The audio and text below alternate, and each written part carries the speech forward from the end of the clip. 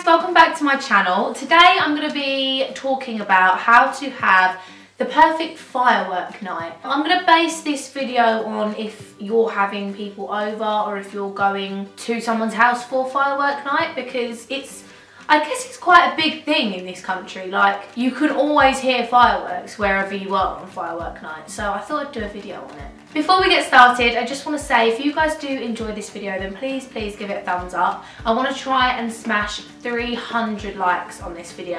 I don't know if it's going to be doable on a video like this, but you can try it anyway. So the first thing you're going to need on firework night is obviously fireworks. Fireworks are something that I am kind of a little bit scared of, so I would never do them myself and I would never advise anyone who watches this channel to do it themselves.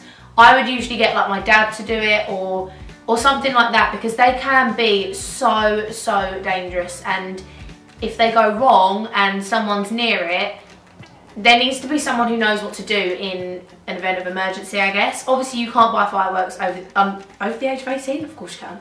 Obviously, you can't buy fireworks under the age of 18, which I totally think is right.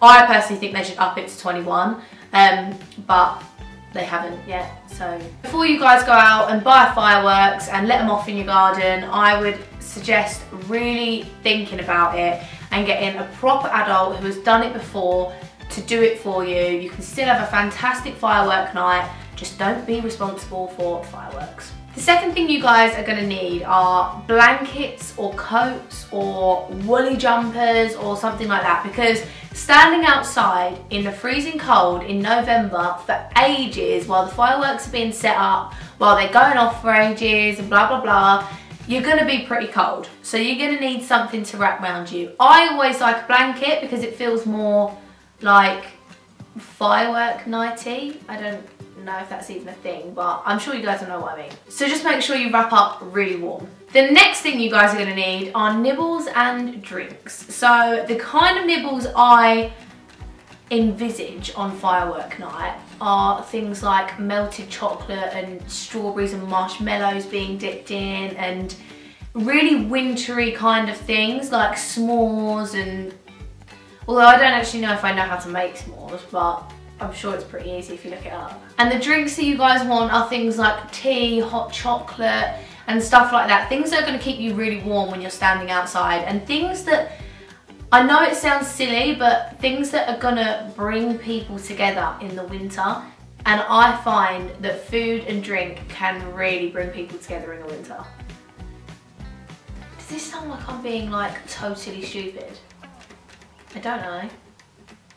So the next thing you guys are going to need are great people at your fireworks night. Obviously you wouldn't have a party with not great people, but people you invite will absolutely make the night for you. You need people who are going to really be in the spirit of fireworks night. Which brings me on to my next point. You guys are going to need to be in the spirit of a firework night.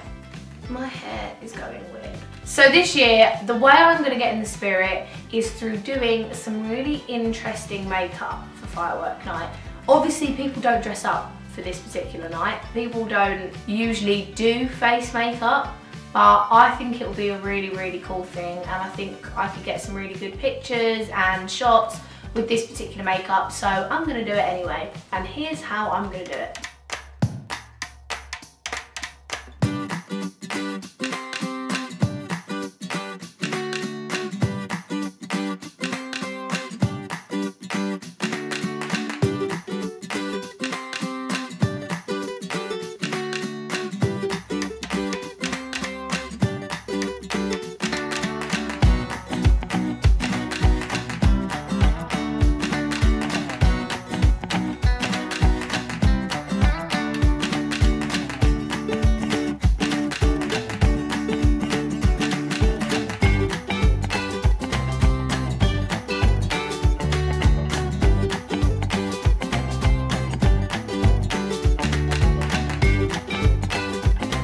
And the very last thing you guys are gonna need are loads and loads and loads of candles. So I have a proper candle obsession at the moment. I suggest just going out and buying a load of tea lights. And I don't know if you guys saw my video from like my DIY Halloween making video.